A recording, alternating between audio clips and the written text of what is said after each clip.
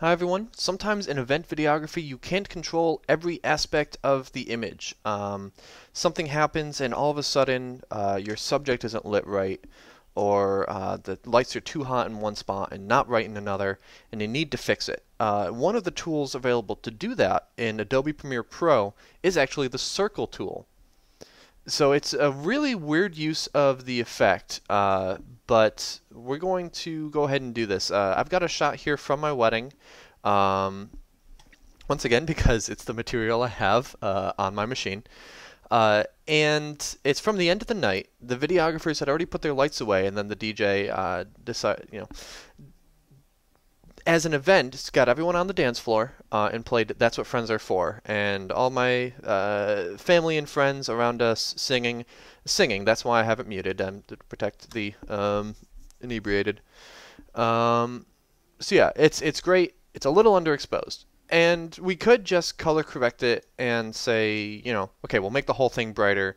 Maybe put a vignette on it. Uh, if you missed the vignette video that I recorded at the same time, uh, then by all means, uh, click this area of the screen right now. It'll take you to that video.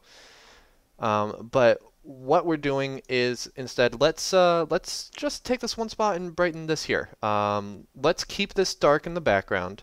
We don't want to color correct it up and then use a vignette to bring that back down. We just want to raise the middle here. Um, almost, let's see if we can get it to look like we're spot spotlit, spotlighted, spotted, brighter than the rest. So again, we're going to come over to Effects, Video Effects, Generate, and Circle. And we'll drag this onto uh, right here. Now again, uh, blending mode here, default is set to none. On a Mac, I believe it's set to normal by default, and this just plops a white circle in the middle of things. Um, and let's keep it on normal just so we can see where our mask is uh, during the shot. Um, it looks like we're going to want it centered maybe offset to the left just a little bit. So why don't we do that, move the center of the spot over here, right in between us. There we go.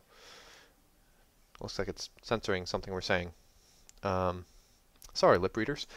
Uh, okay, so now that we've got that placed, we're going to get it to envelop more of us.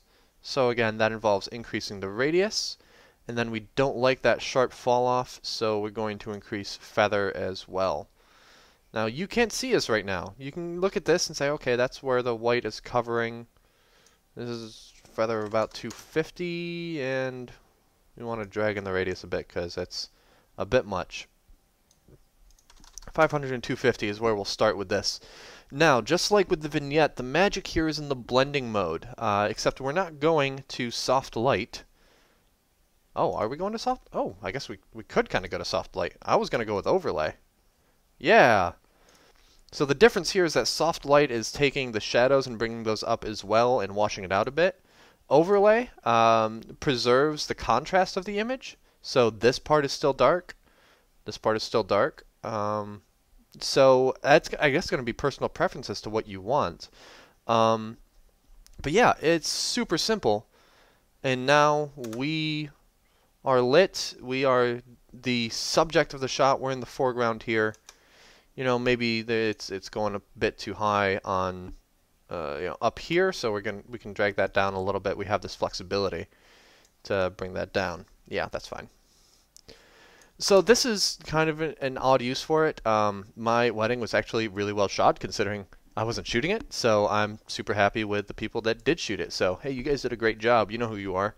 Um, but sometimes I'll run into a, a situation where uh, the subjects are lit really bright by spotlights, um, and say we have like a GoPro as a wide angle. The subject is lit really bright by spotlights, and uh, everything else is just correctly exposed. So instead of overlay, maybe you'll do the same thing. You take a circle, you put it over your spotlit head table, um, and I don't know, maybe multiply will make things. Yeah, multiply makes it darker instead. No, that's just how dark it was. You play with blending modes until it gets you what you want. Um, you know, maybe it was really bright there, and you're like, all right, cool. I want to brighten the whole shot, but not the spotlight. Um, let's say we wanted to brighten everything else except for us, then we keep it on overlay, and we turn off that invert circle. And this looks really weird here because, again, we were relatively properly lit compared to the scene, but uh, trust me on it. If you have a shot where uh, the subject is spotlit, like right in the middle or off to the side or something like that, uh, and you want to brighten the rest, you can use this as well. You do the overlay, uh, you can change the intensity of it with the opacity of the circle that you're adding on top. You can move it around to be wherever you like. Uh, and that is using the circle to uh, the, the circle effect as a uh, targeted color correction uh, or at least brightness correction effect in Adobe Premiere Pro. Uh, so thank you very much for watching this tutorial. If you enjoyed it, please check out the circle vignette tutorial that is on screen. I've also done a color isolation tutorial in Premiere, again also using my wedding.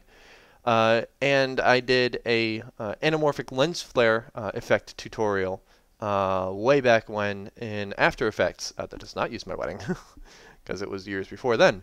Um, so yes, uh, if you enjoyed this, give it a thumbs up. Um, share it with people that you think would use it. It is a very versatile tool, and I hope you'll uh, find some use for it. Thanks for watching. Bye.